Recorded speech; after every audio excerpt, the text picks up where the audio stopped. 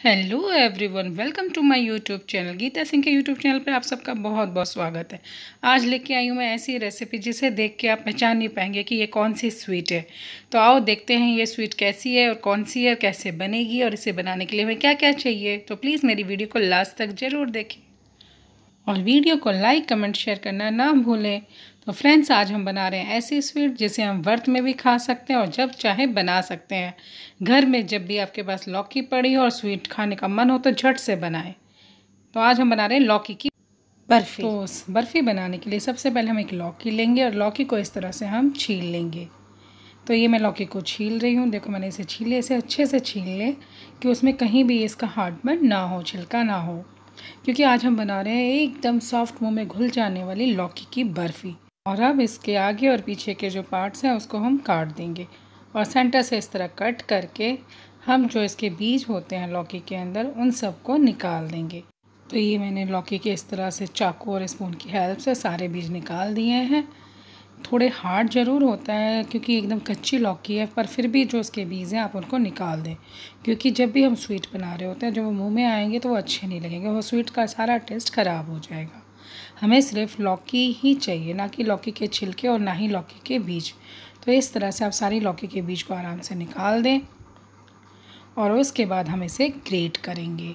तो ये देखो, मैंने ये सारी लौकी के बीज निकाल दिए हैं और छील भी लिया है, अब हम इसे ग्रेट करेंगे।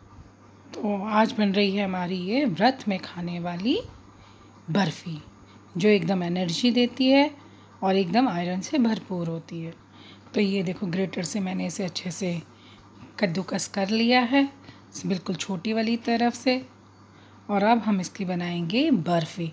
तो सबसे पहले हम ये जो हमने ग्रेट की हुई लौकी है, उसे साइड उसे साइड में रख देंगे। और एक कढ़ाई में हम तीन कटोरी चीनी डालेंगे, क्योंकि हम बना रहे हैं एक किलो लौकी की बर्फ़ी। तो ये मैंने तीन कटोरी चीनी डाल दी है और इसमें डेढ़ कटोरी पानी डाल दिया है।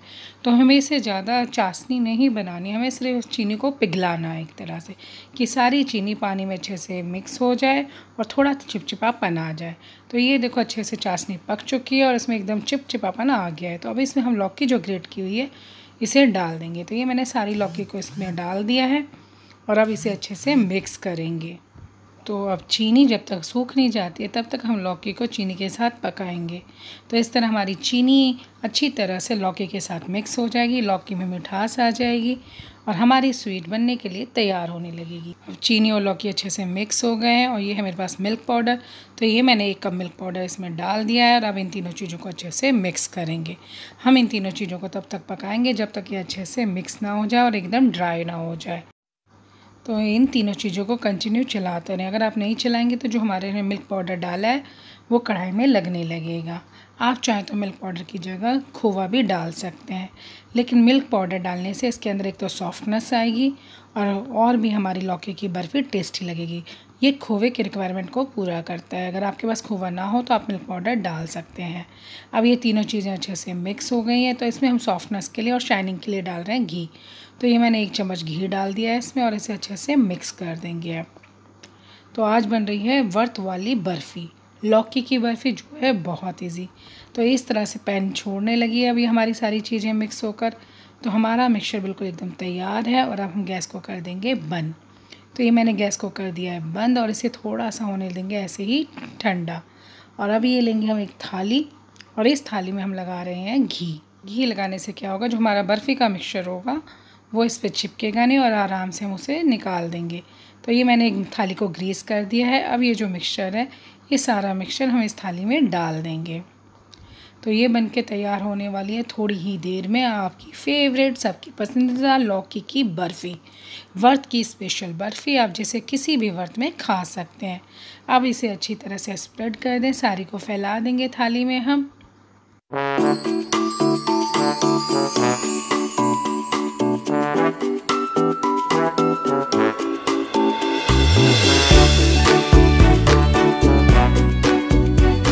तो ये अच्छे से फैला दिया है। अब साथ ही में हम इसके ऊपर डाल देंगे ड्राई फ्रूट आपको जो भी ड्राई फ्रूट डालने हो, आप इसके ऊपर डाल सकते हैं। तो मैं बादाम डाल रही हूँ इसके ऊपर, जिसको मैंने छोटा छोटा पतला पतला चाकू से कट किया हुआ है। अभी मैंने सारे बादाम ड्राई फ्रूट इस पर डाल दिए हैं। अब इसे हम ठंडा होने देंगे और थोड़ी देर बाद इसके हम पीस कट करके निकालेंगे। तो ये देखो, मैंने इस तरह से इसके पीस कट किए हैं। जो कितनी अच्छी लग रही है दिखने में। अगर आपको मेरी ये वीडियो पसंद आई हो तो मेरी वीडियो को लाइक कमेंट शेयर करना ना भूलें। इन्जॉय लॉकी की barfi. See you bye take care thanks for watching Geeta Singh recipe